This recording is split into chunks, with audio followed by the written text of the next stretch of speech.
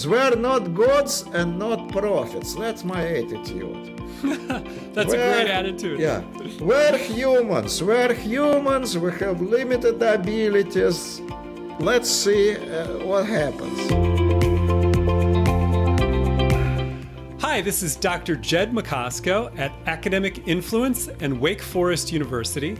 And today we have a very special guest coming to us from the University of Minnesota, Professor Shifman, who is a physicist. So, Professor Shifman, we understand that you do what used to be called particle physics and high energy physics. Can you just tell us a little bit about what you are most known for in theoretical physics? Uh, okay.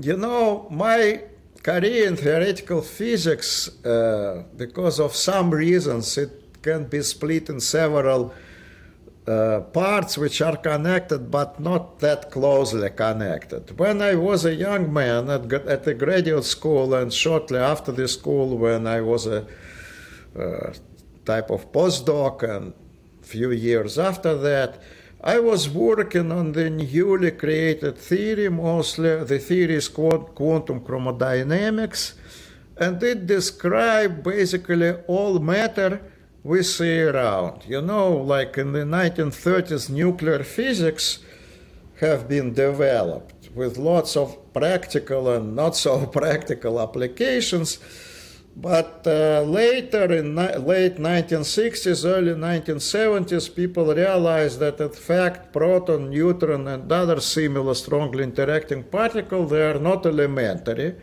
That was one of the reasons why the name elementary particle physics was abandoned. They in turn consist of some smaller and more fundamental uh, objects, which are called quarks and gluons.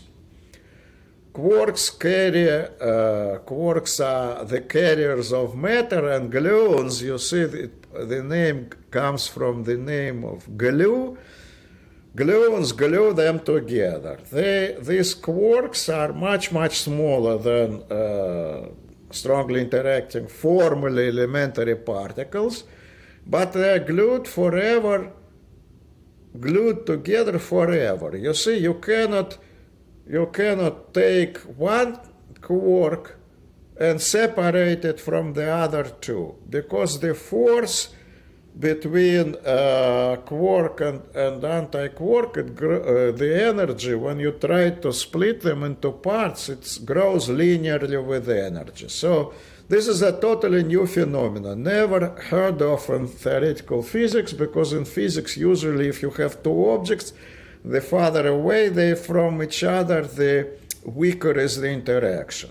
Like the the farther away we from sun, the weaker is the sun attraction, uh, and so on. And it's normal because of, because of this pattern of behavior. Only universe can exist: stars, planets, and us. If we were glued together, everything in the earth, you see, glued together you couldn't separate one piece of it. So, but the quarks have a very, very unusual feature that they glued together to their partners for life. And only in quantum chromodynamics, which was born in 1973, when I was in the beginning of my grad school, there are means and, and ideas how to describe this special type of behavior. So that's what I was working on this very unusual pattern of interaction for, well, 1973, maybe for about 20 years. But during these 20 years, it was realized that the problem is very difficult. Full theoretical description of this strong interaction is extremely difficult and during the subsequent 20 years, from 73 to 93, it was realized that the full solution escapes uh, so far uh, is elusive, but there were many corridors in this subject, which were, or many islands in this ocean, which have been explained and understood, and I am happy that I have this opportunity to explore for the first time some of them. But uh, when I came to the United States, even a little bit before I uh, was uh, I managed to come. It was not that an easy, you know, decision. It's not that I just decided and then came to the United States. It took the Soviet Union to collapse for me to be able to come here. So shortly before I decided to mm, go to the well, I start thinking about this and then I also start thinking of some other areas in particle physics, which were also very interesting, quite new, partly explored, but not completely explored. There were some areas, it's called supersymmetry. You know, supersymmetry is a new symmetry which was discovered in 1972, which relates to each other bosons and fermions. It's hard to explain, but bosons are particles like, for instance, the light quantum is a boson, particle of integer spins, and they like to aggregate with each other. The more such particles you push to, to, towards each other to some one single state, the more they like. So they're extreme communists, so to say. Everyone behaves in the same way as the, everyone else. And another type of particles is called fermions. They have half integer spins. The simplest fermion is electron. And they hate, hate to behave. There is in our universe, there is not a single electron which is exactly like any other electron. So they're extreme individualists. They never congregate. Even two of them cannot be in the same state. They can be in close states, but not the same. So at first sight, what could be further away as the uh, than distance between bosons and fermions. However, it was discovered in 1972, 73, that there is a very special symmetry which relates them. It's called supersymmetry. For many years, it was a hope that uh, a break through, I mean, the supersymmetry was searched at the highest energy accelerators from 1980s till these days. Unfortunately, experimentally, it's not uh, confirmed so far, so it's elusive too. Hard, maybe high energies are needed, but theory went a very large distance from zero, as it was in early 1970s till today. And I'm also happy to be able to say a few new words in this uh, exciting area. I'm so glad you've been able to contribute. So you would say that you were a proponent of supersymmetry and yeah. were you one of the ones that was most disappointed by the, the things that came out of the superconducting super collider in CERN or were you not so disappointed? Of course, I was uh, disappointed, but I was not as disappointed at string theories because string theory requires, in a sense, requires supersymmetry. You know, I personally, uh, I personally more down to earth theories. I don't go as far as to say that the theory of everything, you know, can be worked out and we are like gods at a certain point in time, at a certain moment of time, we will be able to understand anything.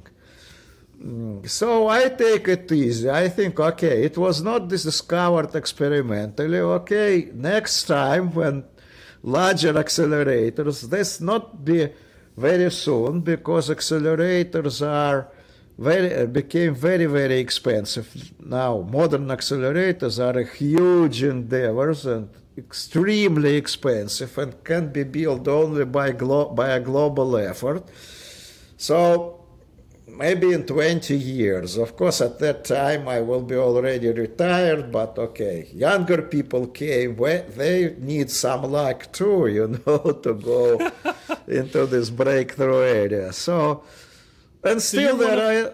Yeah. You're, you're, one, you're one, of the ones who thinks that the, the Large Hadron Collider was not big enough, and we just need a bigger one, and then we will find supersymmetry. Are you of that uh, opinion?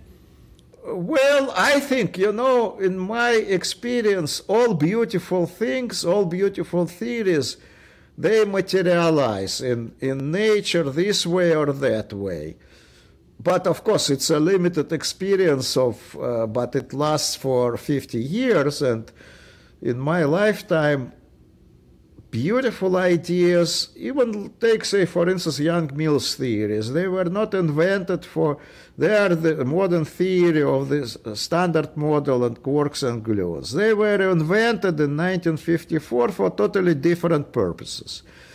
And they were never found or realized in this area of questions for which they were invented it took 15 years to realize that they're still beautiful theories because they found their place at the level of quarks and gluons, not of which people couldn't even anticipate this in 1954.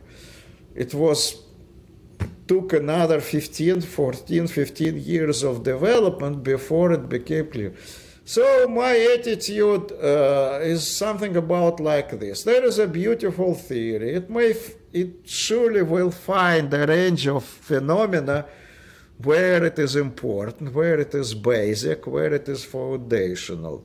When it happens and in which particular area, I don't know. Unfortunately, it didn't come uh, at LHC.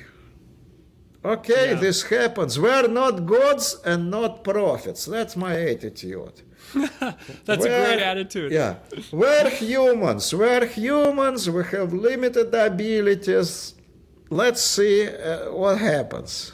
Mm-hmm. So it's just maybe that the ideas of supersymmetry might find their way into something else uh, and you might not even be around to see it come to pass. Yeah. But you really do think that since it's such a beautiful theory, yeah. it must come about somehow. Is that what no, you're saying? Yeah, I want to, to make a little bit more accurate statement. It's not that they, all this, what, 40 years of development or 45 years of development were in vain, because there are already some applications of supersymmetry which are of paramount importance. They are not experiment, it's not experimentally uh, confirmed, but you see, supersymmetry turned out to be a very powerful tool in dealing with theories with strong interactions, with strongly coupled theories. And not even, not only in high energy physics, but all, even in condensed matter, something is helped.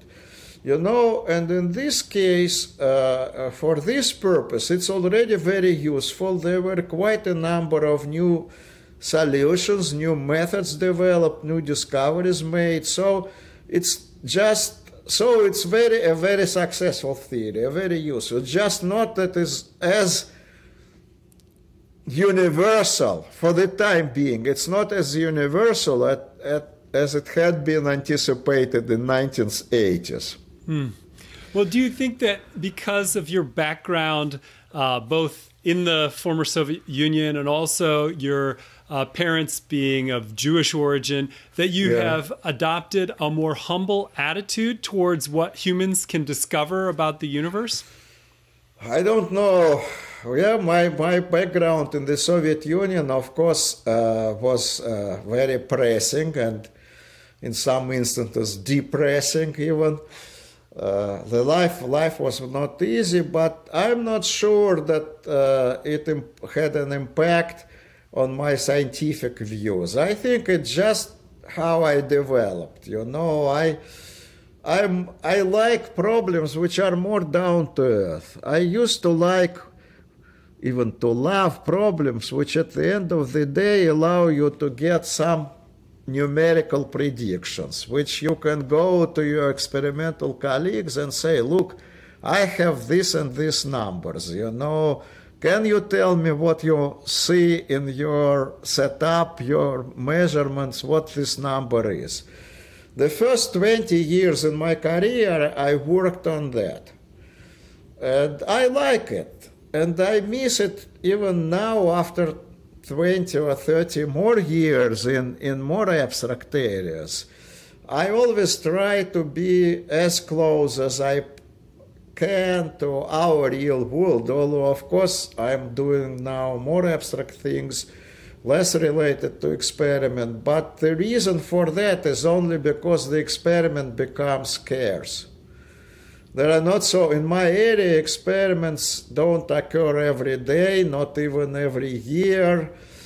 So it's just a response to change in the environment. That's all. But you're still having a lot of fun these last 30 years with this more Yeah. abstract area. Uh, undeniably, undeniably. And how I would you just yeah. how would Yeah. you describe this this newer area these last 30 years to somebody who doesn't really know theoretical physics? Well, there is certainly, uh, well, it depends on theoretical physics is very broad. It encompasses many areas, starting from high energy physics.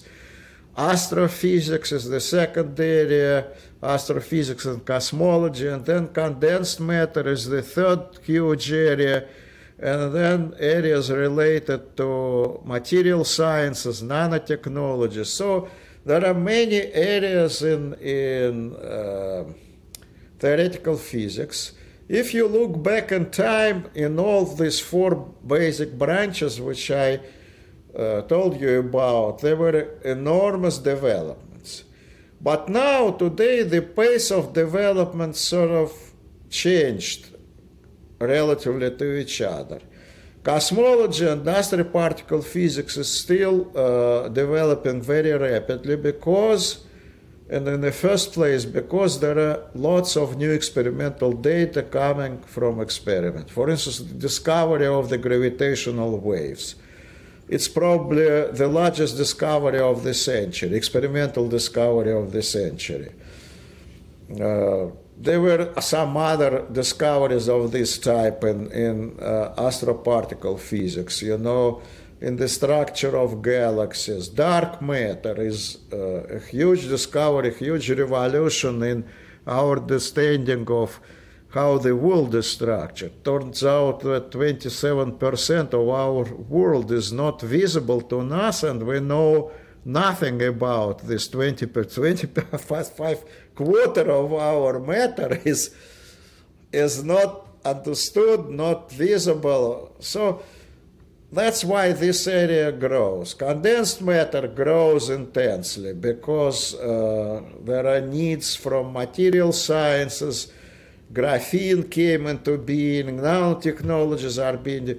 Our area, which is related to high energy physics, still continues to develop, but not at that pace as it used to be 30 or maybe 40 years ago, which is natural because that happens all the time, you know, in sciences, in basic sciences. One branch goes a little faster, develops, grows faster, another a little less faster, and then this second branch, which is not that fast to grow, gives another offspring, another branch which outpaces everybody else. So there is nothing out of ordinary, I would say, in theoretical physics. It's still the theory of the matter at the very fundamental level, at the most fundamental level. Well, we're really glad that you could explain sort of the big picture of theoretical physics, and we're so glad that you got your start in the very beginning of this new phase and that you've continued on and that you've had a chance to tell us about it today. Thank you very much. We really appreciate you taking the time with us today. Thank you to having me with you.